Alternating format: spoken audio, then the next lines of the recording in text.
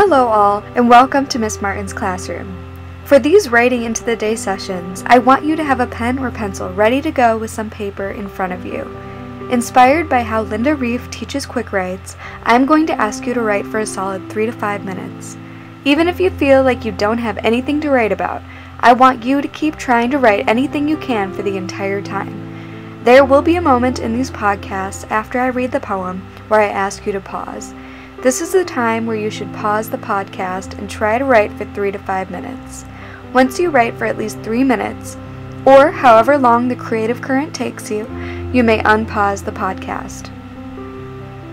Today's Writing into the Day podcast will be featuring a poem by one of the most celebrated and inspirational African American poets of all time, Maya Angelou. In her poem, Still I Rise.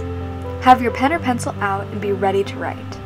As I read this poem, I want you to think about the tone, or the author's attitude toward the subject or audience of this poem. Angelou's life included a lot of racial inequity and turmoil towards African Americans in this country. Think about the topics she addresses in this poem, and think about how her words make you feel. How does her tone in this poem affect you and how you feel about these subjects as her audience? Keep these ideas in mind as I read. Still I Rise by Maya Angelou. You may write me down in history with your bitter, twisted lies. You may tread me in the very dirt, but still, like dust, I'll rise. Does my sassiness upset you? Why are you beset with gloom?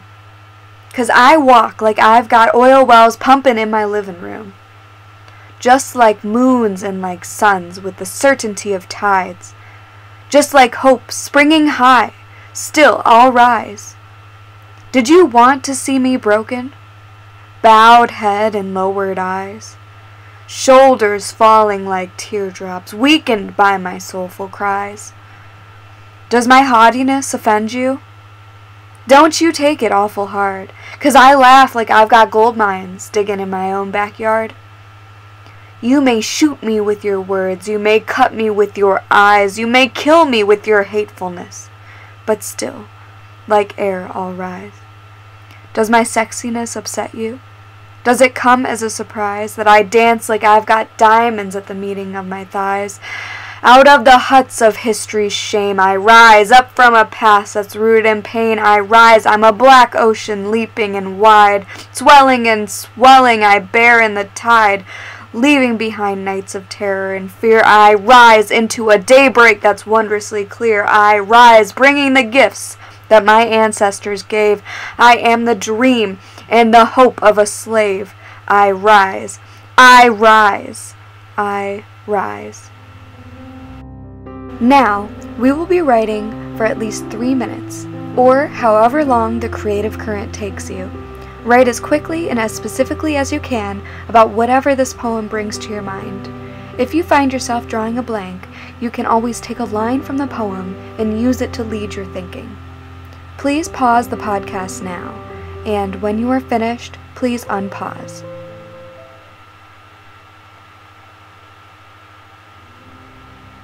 Don't forget to like and subscribe. Also, check out my hashtag MSMReadyToRead and follow me on Instagram at MS underscore Martins underscore class for more writing into the day and fun lessons that are sure to engage you and your kiddos. Thanks for listening.